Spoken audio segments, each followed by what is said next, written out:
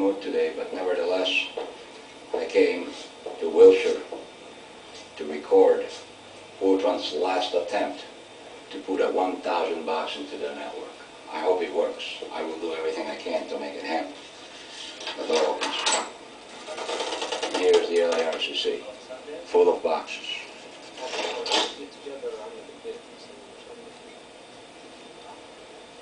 Well,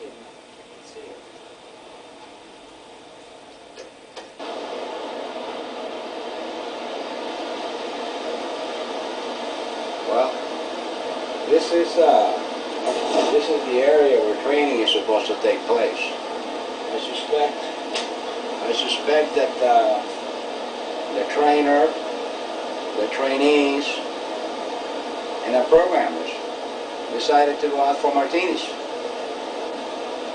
Probably having failed the mission. I'm gonna walk around and try to find it.